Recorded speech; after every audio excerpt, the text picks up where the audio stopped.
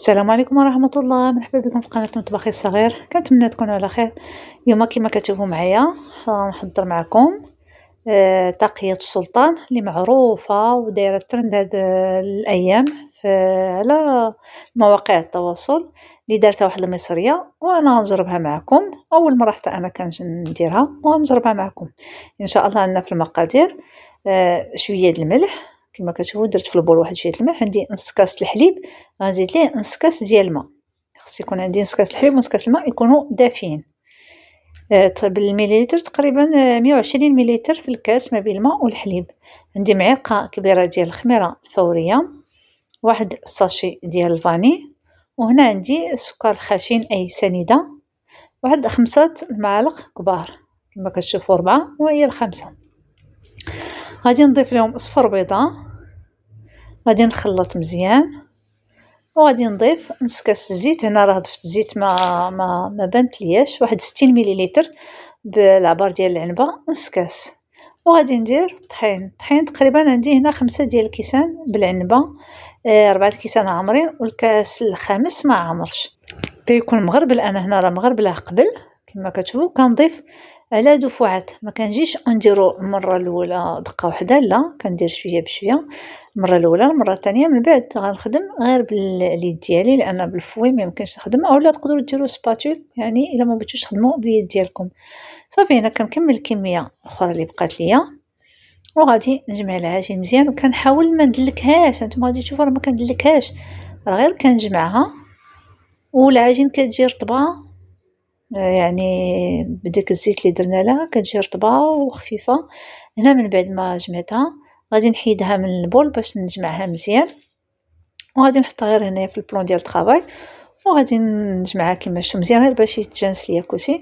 من بعد غادي نقطعها على جوج. جوج كرات يكونوا قد قد آه الكرة الأولى غنخليها جانبا والكرة الثانية غادي نضيف ليها كما شفتوا آه الكاكاو. كتزيدوا القياس. وعينيكم ميزانكم على اللون اللي بغيتو واش بغيتو يكون غامق ولا آه مفتوح. وكنزيد معلقة كبيرة ديال الزبدة كما كتشوفوا الزبدة تكون واخدة درجة حرارة المطبخ يعني تكون طرية.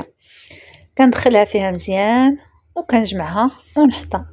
بالنسبة للكرة الثانية العجين الثاني غندير لها آه غير الزبدة. هي ما نزيدش فيها الكاكاو بتا تبقى ليا بيضة.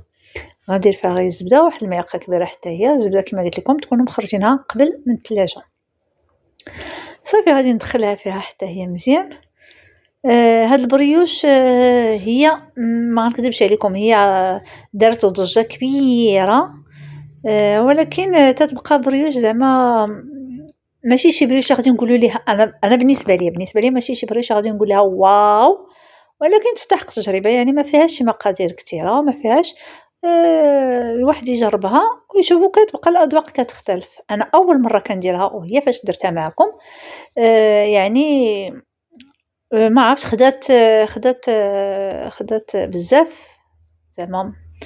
على المذاق ديالها وكنتمنى تجربوها لأن هي ماشي خايبة زوينة ولكن ماشي ماشي واو. المهم أنا سرحت العجين الأول. سرحت العجين الثاني سرحت العجين الأول في البابي وسرحت العجين الثاني في بابي آخر وحطيته فوق منه. أنا هنا جيتكم الصراحه يعني نقدر نقول لكم زوينة وكذا وكذا وكذا رائعة جربوها. هي إيه زوينة ولكن ماشي بالدرجة اللي خدات اللي خدات أنا زعما يعني تشهرات بزاف. المهم هنا دهنت هذيك la partie كما شفتوا دهنتها بالشوكولات درت les pépites ديال الشوكولا وأنتم شفتوا الشوكولات اللي خدمت بها تقدروا تخدموا أي نوع شوكولا تقدروا ديروا أي حاجة بغيتو لداخل تقدروا ديروا اللوز تقدروا ديروا يعني اللي بغيتو. أنا خدمت خليت غير chocolat و les pépites de chocolat. صافي من بعد كنرولي وهاد الطرف التحتاني كما شفتوا غادي نقطع آه سميطات هكا مسكين وغادي نروليهم.